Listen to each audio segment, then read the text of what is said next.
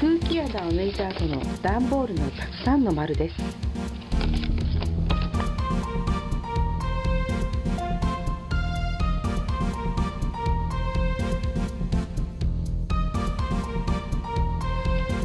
段ボールの両面に色や模様をつけてブンブンゴマを作ってみましょう。何も書いてない段ボールを剥がします。剥がした丸を半分に折ります。もう一度半分に折ります。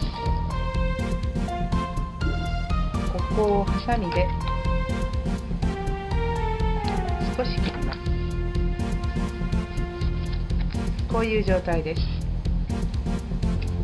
これを丸に重ねて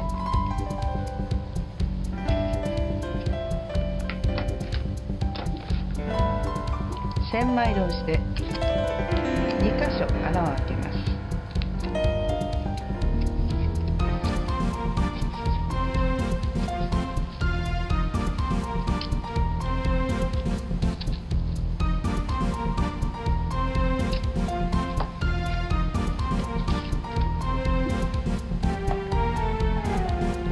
そこに紐を通します。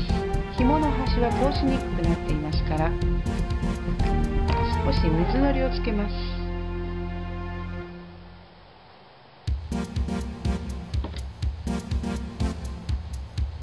こうして乾かしておくと硬くなります。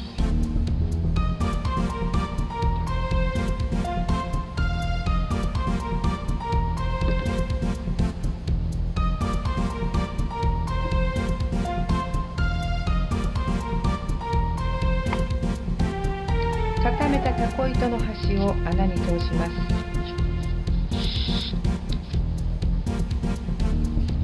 反対側の端も同じ方から通します。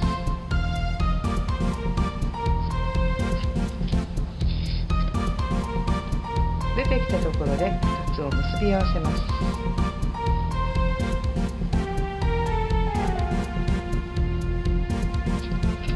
これで完成です。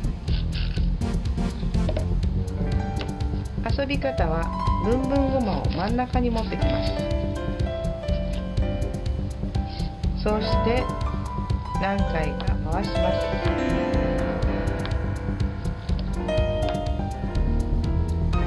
紐を引くと回り始めますから緩めます。引いて回り始めたら緩める。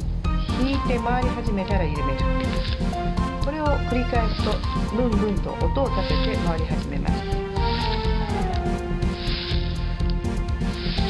回っている時の模様はこんな風に見えます。